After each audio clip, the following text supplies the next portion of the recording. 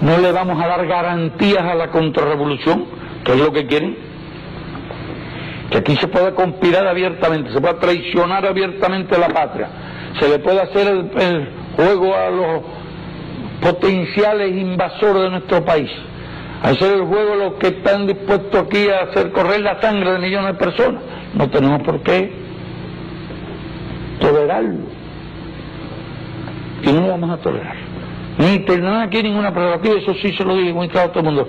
Los contrarrevolucionarios no tendrán aquí ninguna tribuna.